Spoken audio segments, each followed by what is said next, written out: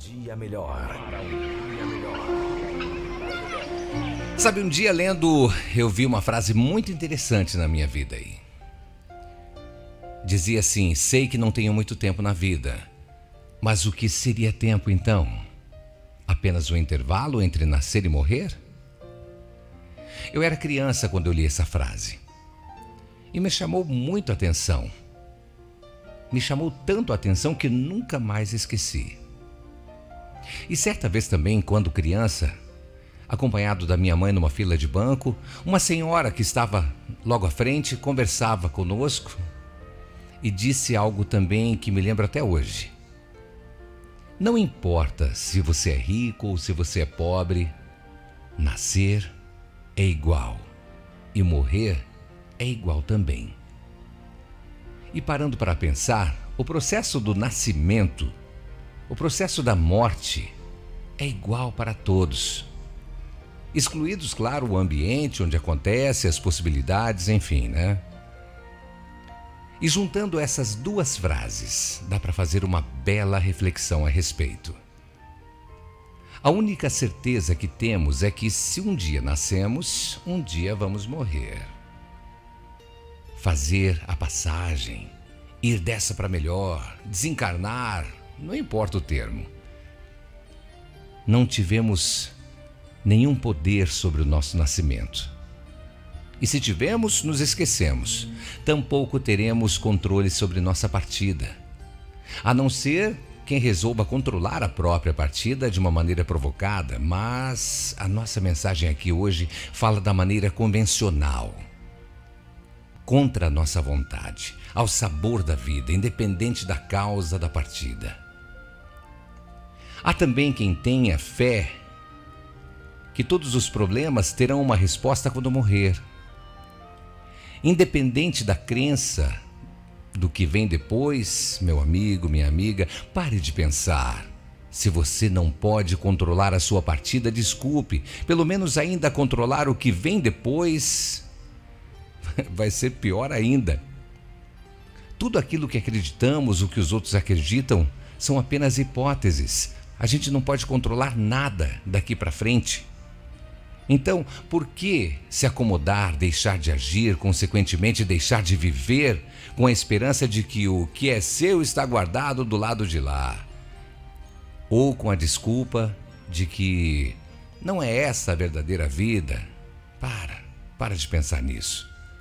Se você está aqui, algum motivo tem. E você tem que fazer valer a sua vida. Não sabe o que fazer? Comece fazendo qualquer coisa. Ah, não sabe qual o melhor a fazer? Então faça o melhor que você souber. E se não tivermos nenhum poder, não tivemos nenhum poder sobre o nosso nascimento, e sabendo que não teremos nenhum poder quando essa força chamada vida decidir que não será mais possível estar mais nesse mundo, o que podemos tirar disso? Simplesmente tomar posse do tempo que nos é dado esse tempo, o intervalo entre o nascer e o morrer que eu te falei. Enquanto aqui estamos, sim, nós temos o controle, mas aqui e agora.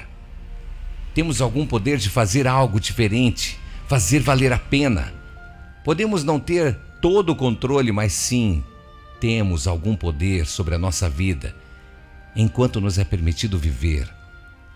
Temos o poder de escolha, temos, desde que o momento em que desenvolvemos uma mínima capacidade, digamos assim, de discernimento sobre a vida, podemos ter poder sobre as nossas ações durante o tempo. E lógico, sabemos que sofreremos as consequências de tudo, mas sobre a passagem deste daqui para melhor, como se diz, ah, sobre isso é impossível a gente saber.